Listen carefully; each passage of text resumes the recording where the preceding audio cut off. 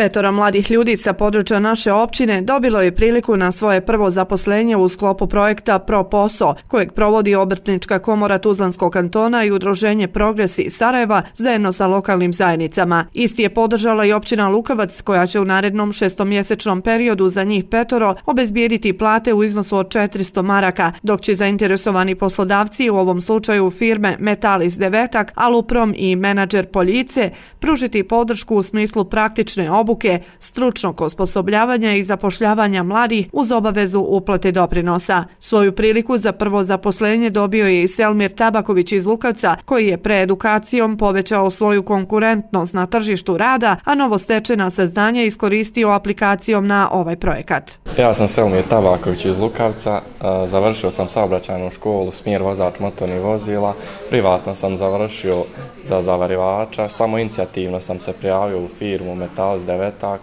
i oni su mi dali svoju šansu, tu sam počeo raditi. Istu priliku dobio je i Jasmir Kasumović, koji je sa puno optimizma prihvatio poslovnu šansu u firmi Metalis, sa kojom je danas potpisao šestemjesečni ugovor o radu. Smatrajući da je ovo dobra poslovna šansa kako za polaznike, tako i za firmu, koja je ovim projektom dobila tri nova uposlenika uz znatne finansijske olakšice, iz Metalisa su iskazali spremnost za nova upošljavanja putem ovakvih i sličnih projekata.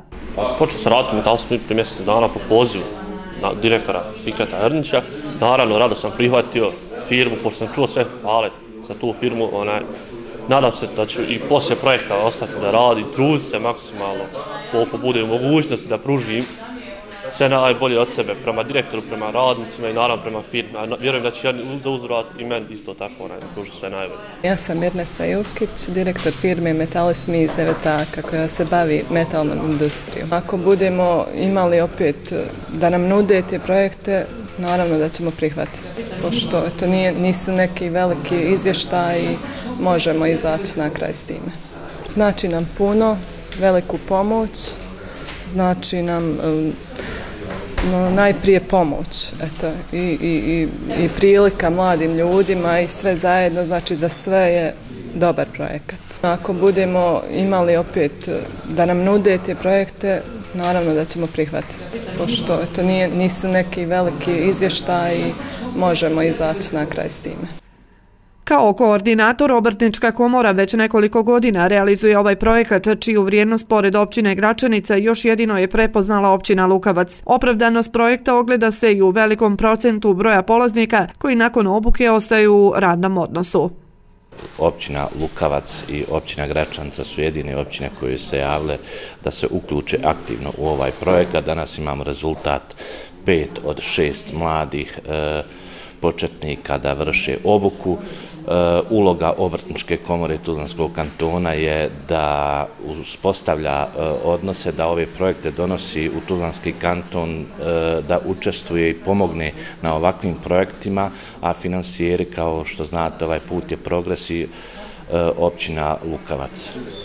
Mislim da je u dosadašnjem iskustvu uh, udruženja Progres koje je provodilo na projekat Proposu i prethodnih godina analizama pokazala da je 80 procenata početnika u obuci ostajalo u tim preduzećima, to su očekivanja i ove godine. Mi bi volili da svi ostanu, da niko ne po, posle završene obuke ne ostane bez posla, ali to je u suštini ostaje na početnicima koji dolaze da rade i na poslodavcima ili obrtnicima koji im zapošljavaju. Uz ogromnu podršku projekat je podržala općina Lukavac, no šokirali su podaci da unatoč ogromnom broju nezaposlenih, veoma mali broj zainteresovanih prijavio se na isti. Mi smo ovaj, sa puno uh, žara krenuli ovaj projekat, insistirali smo kad smo prvi razgovor obavili da najveći broj koji je moguća aplikacija privučemo u našu općinu, jer evo imamo informaciju i svi stalno govorimo o tome da su mladi nezaposleni, da odlaze da je teško socijalno, težak socijalni status i slično. I mi smo u prvom ovom ovaj, ciklusu, dakle, u, zajednički planirali sredstva za šest mladi ljudi koji bi na ovaj način praktično počeli sticati svoje svoja prva iskustva i formirati radno-pravni status. Desila se jedna vrlo zanimljiva stvar koja zahtijeva u istinu podobnu, podobnu analizu. Nama se na šest dakle, pozicija koja smo imali otvorene efektivno praktično prijavili do kraja prošlo čitave procedure petoro mladi ljudi. Dakle, jedno mjesto je ostalo neupraženo, iako sam ja očekivao da će to biti navala prijava i kompanija i zainteresirani ljudi za posao. Od e, potencijalnih, da kažemo, ovaj, kompanija koje su mogle primiti zaposlenike, dobili smo informacije da je bilo i odustajanja i pokušaja da se eto ne javi na birovu da nije prihvaćeno da se uđe u radno pravni status. Dakle, očigledno je da ovdje nije samo problem nedostatka radnih mjesta, može je problem malih plaća ili bilo čega, ali generalno e, informacija ili zaključak koji možemo izvući iz ovog projekta je da mi moramo ući u populaciju nezaposlenih i ne tretirati tu populaciju kao jedan ogroman statistički skup sa velikim brojem ljudi koji ne rade, jer očigledno je da kad se pojave realne šanse da nama u stvari već sad nedostaje kvalificirane, relevantne radne snage.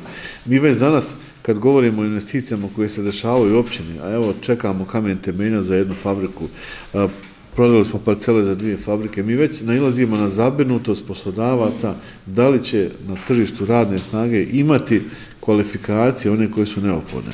Dakle, u tom smislu mladim ljudima ovdje treba poručiti da prostor na kojem se nalazimo, evo, poput ovih mladi ljudi i ovih e, zanimanja koje oni imaju, već ima mogućnost da takve mladi angažuju i da zaposli, ali moramo shvatiti da završiti zanat ili srednju školu ne znači samo imati papir ovaj, i svjedočanstvo da je to tako da je završeno, to mora da znači i želju i spremnost da se dovuči ono što se nije naučilo ili poput ovog mladića koji je evo sam čuo pa našao šansu pa došao pa se prijavio, dakle jednostavno motivaciju da se krene u traganje za radnim mjestima. Iz obrtničke komore Tuzlanskog kantona kazali su da će projekat biti nastavljen i u narednom periodu gdje će se uključiti i zavodi i službe za zapošljavanje kako bi se efikasnije angažovale mlade nezaposlene osobe da se masovnije odazovu na ovakve poslovne prilike. Načelnik Delić iskazao je spremnost općine Lukavac da i u narednom periodu bude ravnopravan partner ovakvim i sličnim projektima.